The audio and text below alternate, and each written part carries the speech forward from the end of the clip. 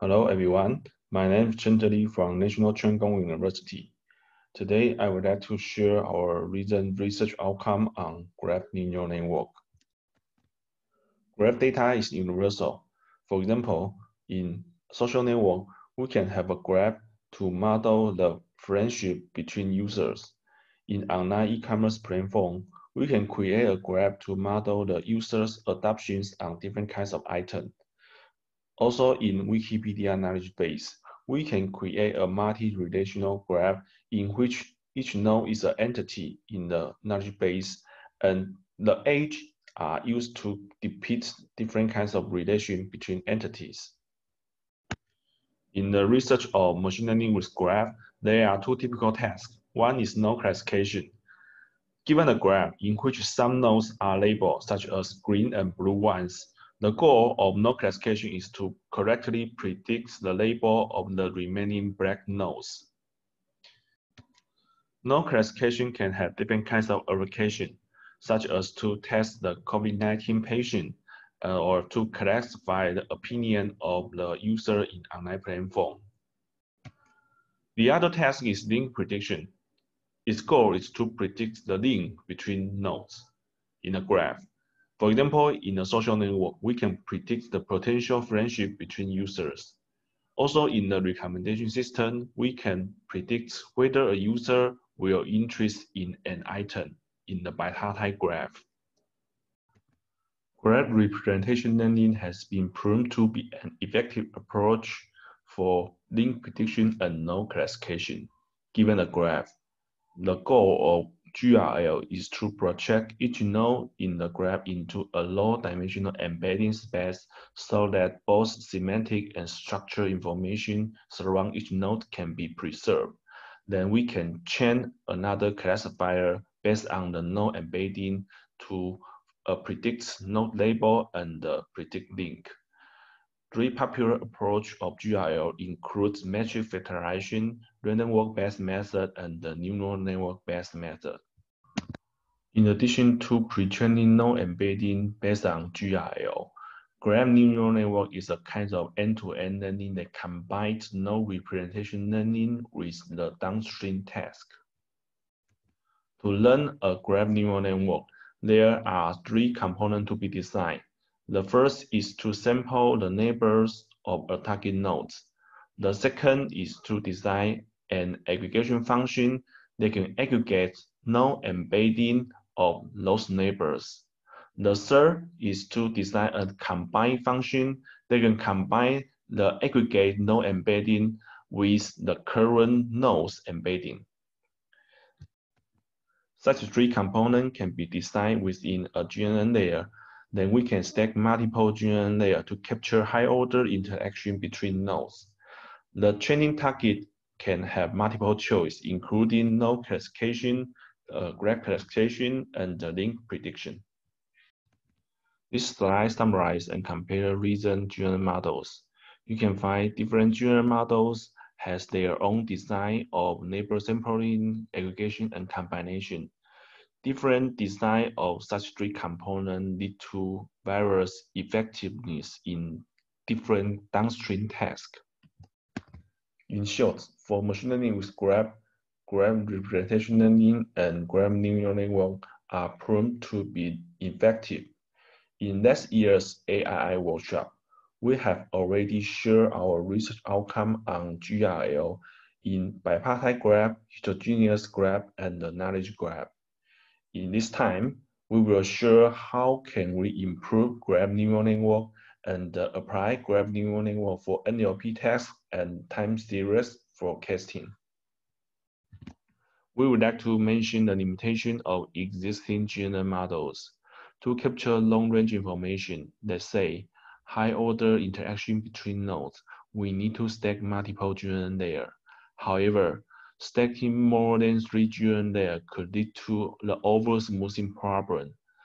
In this toy example, if we stack more than four GNN layers, the embedding of orange node and blue node can be overlapped with each other in the embedding space. This can lead to worse performance of node classification. The second issue of existing GNN model is that they cannot capture high-level semantics, which refer to the cluster or community structure hidden in the graph. For this example, different color mean different cluster or communities. If we can better use and incorporate those cluster or community information, we can better learn the representation of each node in the embedding space so that nodes with the same label can be grouped together and separate from nodes with different labels. To deal with such two issues, we propose a hierarchical message passing graph neural network. Given a graph here, we perform Louvain algorithm to generate the hierarchical communities of nodes in the graph. For example, each node can belong to an institute level cluster and further belong to a research area cluster. Then we create multiple label graphs to depict the relationship between nodes based on the detect hierarchical communities. For level one, we use the original graph. For level two and so on, we create the corresponding supergraph in which each node is a cluster. We create a link to connect two clusters if there exists at least one edge between the corresponding two community in the previous level. For example, in level 2, we have a S1 supernode and a S2 supernode. If there exists one link between the corresponding two community in the previous level 1, then we create a link between them. Based on the construct multiple level graphs, we propose the hierarchical message passing mechanism, which consists of three phases. The first phase is within level message passing. We perform GCN on the graph at the first level to generate all nodes embeddings. Then in the second phase, we design a bottom-up message passing that can bring the node embedding information from lower level to higher level. Then in higher level, we uh, again perform within level message passing to generate higher level node embedding. This process can be performed up to the highest level. The third phase is the top-down message passing. We learn the attention weights for nodes at different level and use the attention weight to aggregate node embedding together for the target node at the level one original graph. With the hierarchical message passing mechanism, we can incorporate the higher level community semantics into the learning of target node embedding. In addition, the target node can be aware of a long-range neighbor by using the hierarchical information as the shortcut. To evaluate the effectiveness of the proposed hierarchical message passing GNN, 10HC GNN we conduct three experiments, including transductive, inductive node classification, and link prediction. We can find that by stacking HCGNN from one to three layers, uh, its performance can clearly outperform existing state-of-the-art uh, GNN models across multiple data datasets and evaluation metrics. Such results prove the usefulness of uh, hierarchical message passing mechanism. For now, we would like to share multiple applications based on graph neural network. The first is to detect fake news on social media. Given a source tweet, as well as the sequence of users who retweet this source tweet, and uh, each user is associated with a feature vector. Our goal is to predict whether the given source tweet is fake or not. It is a binary classification problem. It is worthwhile to mention that the problem setting of our work is more realistic than existing study on fake news detection. Existing study assume the retweet graph and the user comment post to the source tweet are available for training. However, due to privacy or security concerns, such two information may not available. Therefore, we don't assume retweet graph and user comment can be used for training and predict fake news. We present graph-aware co-attention network to detect fake news based on our setting. GCAN consists of multiple components. First, we use GRU to encode the source tweet and use CNN and another GRU to learn the representation of user based on the retweet propagation. In addition, we use graph neural network to learn graph-aware user representation. Then we design a dual co-attention mechanism that model the correlation between the source tweet and graph-aware user representation, as well as the correlation between source tweet and the CNN-based user representation. By concatenating all the derived vectors, we fit into a fully connected layer to generate the predict result. We aim to represent each retweet user based on how he or she interacts with other user. However, since the user retweet graph are not available, therefore, we instead construct a fully connected graph in which each node is a retweet user. We generate the edge weight based on the cosine similarity between user feature vectors. Then we apply graph convolutional network to be the GNN model and generate the user representation. We compare the proposed GCAN model with typical machine learning algorithm and the state-of-the-art fake news detection method, including CSI and DFAN. The experiments are conducted on two benchmark datasets, Twitter 15 and Twitter 16. The results show that GCAN model can significantly outperform the state-of-the-art models up to 15 percentage. In addition, we can find that the GCAN model without the graph-aware representation learning can lead to 8 percentage performance drop. This is show that uh, using the GNN to represent user can significantly boost the performance on the task of fake news detection. We also apply GNN on cyberbullying detection on social media. Given a session consisting of a source tweet and the, the corresponding user profile and the, the comment sequence. The goal is to predict whether the session is cyberbullying. It is a, also a binary classification problem.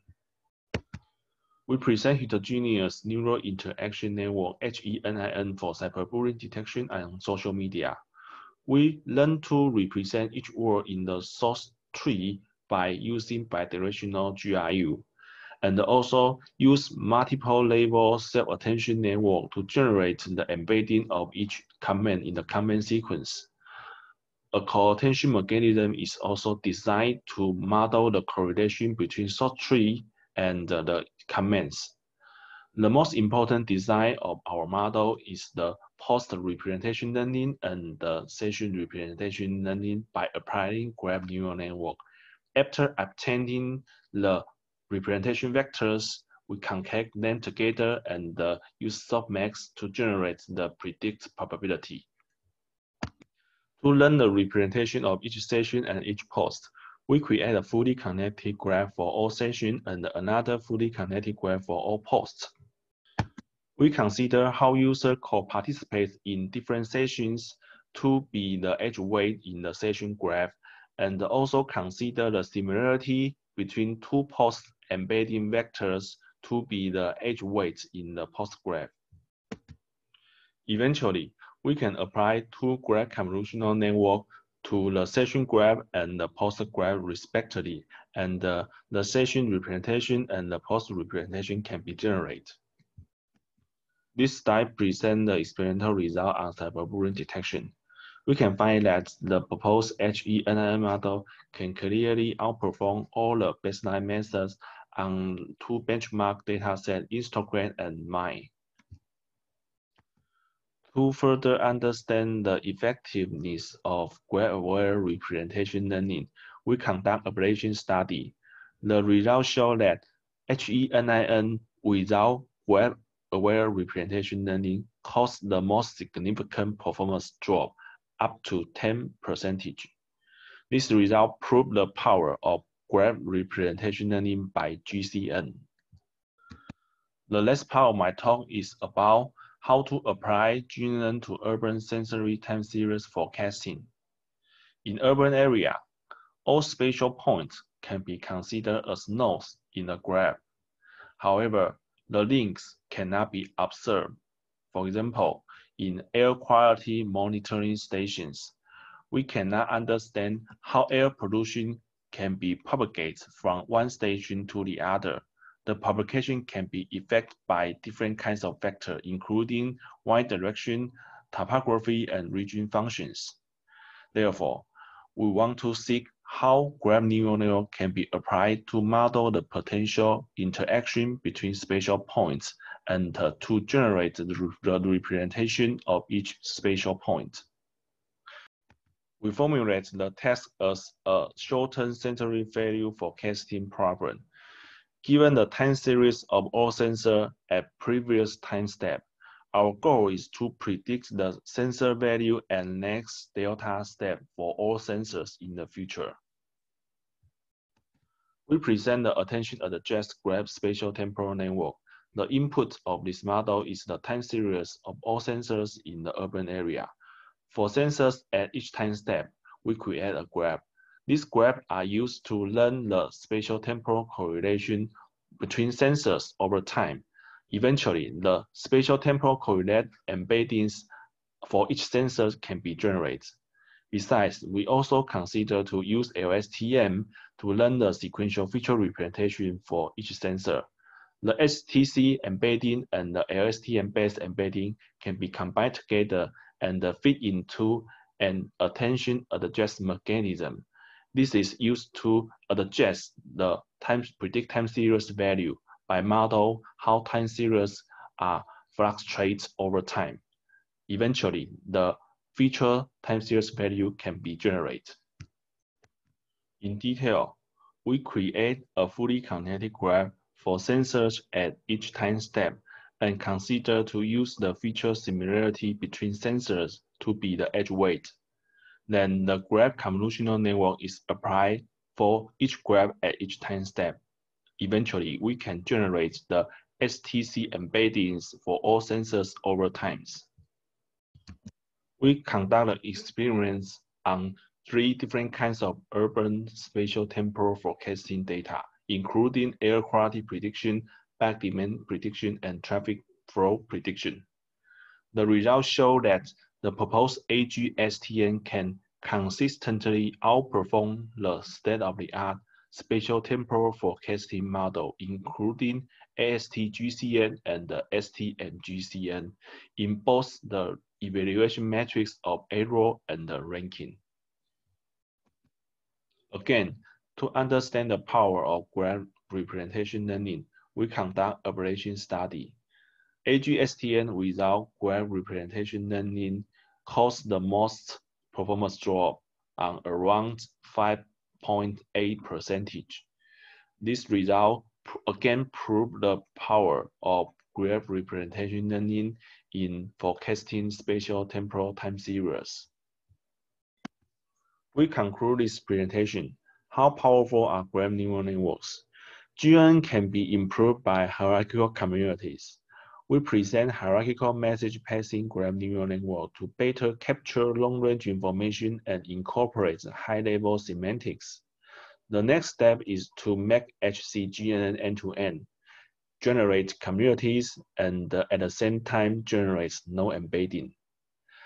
In addition, we show graph neural network can business predicting tasks on social media, including fake news detection, and cyberbullying detection, the performance can get significantly improved with GNN models. In addition, GNN can be also used to improve the performance of spatial temporal time series forecasting. You may wonder what is the next for the application with graph neural network. In our studies, you may have already find that we construct fully connected graph to model the relationship between entity. Within the next crucial task is to construct a better graph structure by adversarial training. We would like to filter out irrelevant link and keep only the most significant ones. Better graph structure can lead to better representation learning of nodes. If you are interested in more detail of our studies, you can refer to the relevant publication list here. This is all of my presentation. Thanks for your participation. Let's go together to develop better graph neural network model for different kinds of application.